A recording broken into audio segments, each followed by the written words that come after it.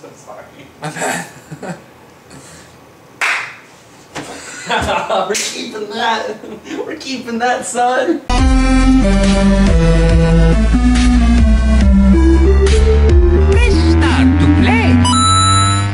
What's up, guys? It's Wyatt from the Zero to Hero podcast, and this is a new segment that me and Christian came up with called Zero to Hero Direct. It's basically where we just take all that nerdy news you just can't wait to hear about the movies, the TV shows, the video games, and we just take it all and we just shove it right into this thing and we just push it to you because that's what we do. I think the first episode for when? I think the first episode's already out. Yeah, I, I think. Yeah. See, I was gonna tell you the date, but I don't know it. Anyways, let's get started. There's no better way to start this than with my absolute favorite movie from Disney, Aladdin.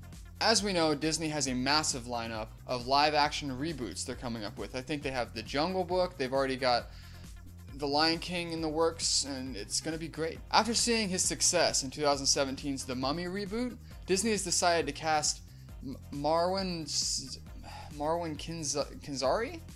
Is that right? I think that's I have no clue. Oh, okay. He's going to be the evil villainous Jafar.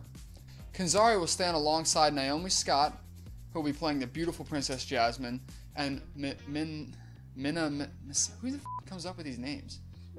Minna Masound, who will be playing the role of Aladdin. Not only that, but can you imagine who's going to be floating and flying out of that lamp when it's rubbed? Will Smith. But put all that aside, because I'm really curious to see who's going to be playing Abu. Next in the news, we have Bond.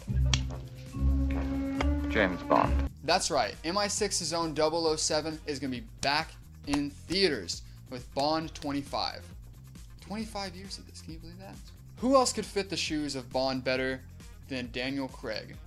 That's right, after Spectre was released, Daniel Craig said he would rather slash his own wrists than come back to the screens as Bond. I guess the movie industry just has not treated him well because he's coming back. And finally, back to Disney.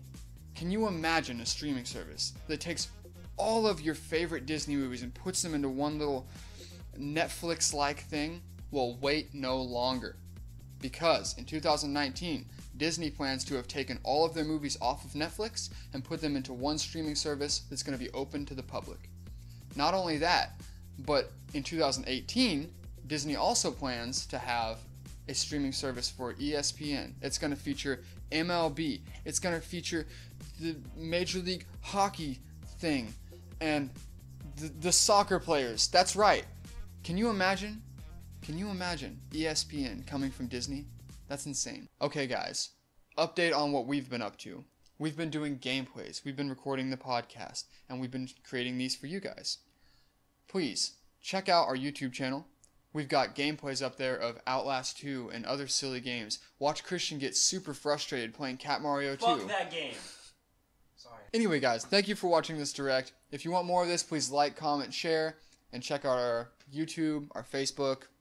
We're on Google Play for our podcast as Rate well. Rate us on iTunes. Rate us on iTunes. Yeah. All right, we'll catch you guys in the next episode.